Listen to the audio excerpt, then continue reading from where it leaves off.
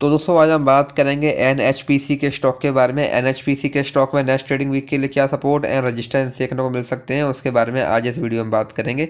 हम अगर यहाँ पर स्टॉक की बात करें तो हम देखेंगे जो ये स्टॉक है, ये हमको पिछले एक लंबे समय से यहाँ पर लगातार क्लियर अप ट्रेंड में देखने को मिल रहा है। हमको स्टॉक में हाइयर हाई हाइयर लो वाला पैटर्न यहाँ पर देखने को मिल रहा है।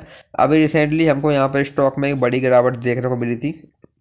लेकिन फिर स्टॉक ने यहाँ पे सपोर्ट लिया, जिसके बाद से अभी अगेन हमको यहाँ पर स्टॉक में रिकवरी भी देखने को मिल रही है। आज भी हमको यहाँ पर स्टॉक में zero point one point eight six percent की यहाँ पर तेज़ी देखने को मिली है।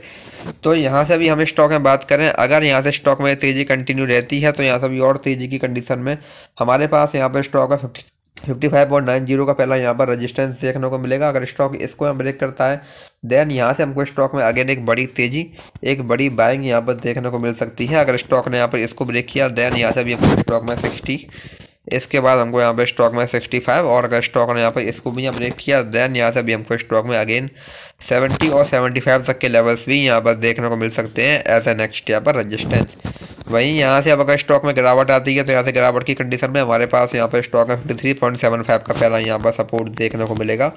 अगर स्टॉक इसको में ब्रेक करेगा देन यहाँ से हमको स्टॉक में fifty one point nine zero and then यहाँ से हमको स्टॉक में अगेन फिफ्टी तक के लेवल्स भी यहाँ पर देखने को मिल सकते हैं एज ए नेक्स्ट यहाँ पर सपोर्ट तो ये स्टॉक में कुछ इंपॉर्टेंट लेवल्स हैं, आप इन पर ध्यान दे सकते हैं। बाकी वीडियो में कोई बाय सेल होल्डिंग सलाह नहीं है।